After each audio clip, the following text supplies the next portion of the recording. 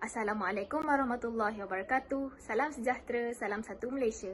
Saya Alina Syakira binti Amli, salah seorang pelajar ko-kurikulum Kesatuan Negara 1 UiTM Cawangan Perlis. Untuk pengetahuan semua, pada 25 November baru-baru ini, jam 8.30 malam, pihak ko-kurikulum UiTM telah pun mengadakan sebuah tayangan patriotisma yang bertajuk Malaysia Prihatin, Jubli Emas Rukun Negara dan hashtag Kita Mesti Menang. Jutaan terima kasih ingin saya ucapkan kepada pihak co-curriculum UITM kerana telah berganding bahu dalam menjayakan sebuah program yang sangat bermanfaat ini. Rukun negara telah diisytiharkan pada 31 Ogos 1970 bersempena ulang tahun kemerdekaan Malaysia yang ke-13 oleh Seri Paduka Baginda yang di-Pertuan Agong Almarhum Tuanku Ismail Nasiruddin Shah Ibni Almarhum Sultan Zainal Abidin.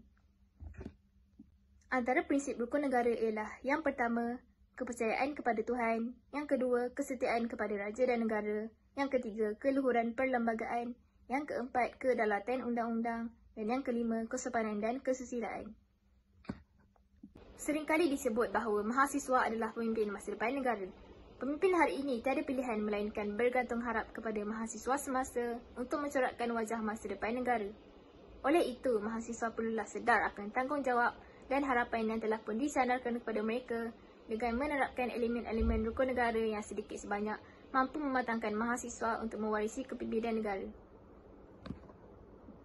Apa yang saya peroleh daripada tayangan tempoh hari? Generasi kini, termasuklah diri saya sendiri, masih kurang penghayatan terhadap rukun negara yang telah diperkenalkan sejak sekolah lagi. Seorang yang patuh pada ajaran agamanya mempunyai budi pekerti yang mulia dan sifat-sifat terpuji. Selain itu, berdasarkan kepercayaan kepada Tuhan Yang Maha Berkuasa, rakyat Malaysia seharusnya mempunyai sikap rendah diri dan sentiasa bersyukur atas nikmat yang diberikan oleh Tuhan. Dalam kita menghadapi norma baharu menentang COVID-19, seperti yang kita ketahui, masih terdapat segelintir rakyat Malaysia yang memandang remeh terhadap pematuhan SOP yang ditetapkan oleh kerajaan.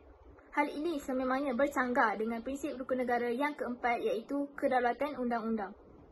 Kesimpulannya, tayangan video patriotisme ini telah berjaya membuka mata saya dan rakan-rakan tentang pentingnya penerapan elemen rukun negara yang semakin pudar dalam jiwa kalangan rakyat Malaysia, khususnya kalangan mahasiswa yang bakal menerajui masa depan negara.